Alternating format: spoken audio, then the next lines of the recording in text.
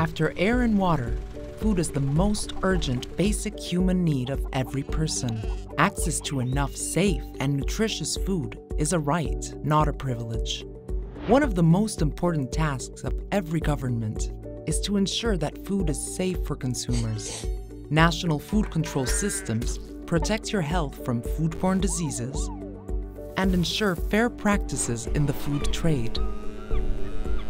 FAO and WHO have developed the Food Control System Assessment Tool to help governments evaluate the performance of their food control system and plan for the future. The tool is based on Codex Alimentarius guidelines and international health regulations.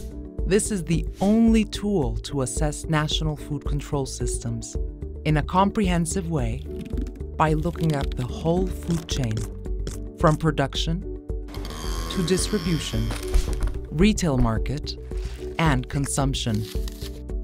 The assessment process involves gathering and reviewing evidence from available sources and relies on the active participation from all public and private sector stakeholders. À l'aide de cet outil, nous avons évalué notre système national de contrôle des aliments. Nous connaissons maintenant les domaines exacts dans lesquels nous devons investir et développer nos capacités. We build stakeholder confidence domestically and internationally, opening new markets and improving safe trade.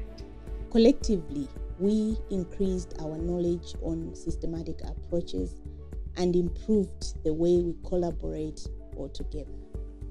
This tool provides a clear path for governments to identify national priorities for improvement and target investments.